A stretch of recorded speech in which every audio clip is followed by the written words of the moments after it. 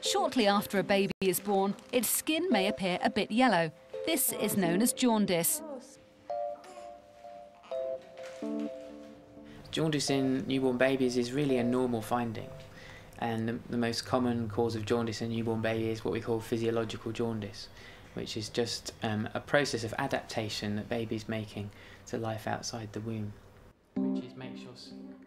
Ryan is checking over Maria Vittorio's baby Tamami, who has low blood sugar levels. She's also a little jaundiced, although so far her jaundice levels are low and they don't need any further treatment. When a baby's born, it's born with a lot of hemoglobin, which Mhm. makes your blood red. Yeah.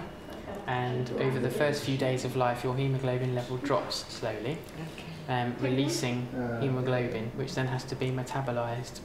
And a product of that is bilirubin, which makes your skin appear yellow. I see. For um, the vast majority of babies, jaundice is, is not dangerous and does not usually require any treatment. The jaundice first appears in the face and then creeps down the body. If you look very closely, you can tell a baby's jaundice by looking in the whites of the eyes. You can see that they're yellow.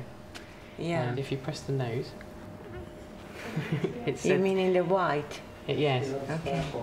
Babies typically do get some blood tests if they're detected to be jaundiced. We will look for um, evidence of conditions that might make the jaundice worse and therefore require treatment. Babies who present with jaundice in the first 24 hours and who are likely to become severely jaundiced, it's usually because of an incompatibility between the mother's blood group and the baby's blood group. For example, if the mother's a O group, she might develop anti-A antibodies to, to her baby if the baby has A group blood. In extreme cases of jaundice, effective treatments are available to rectify the problem.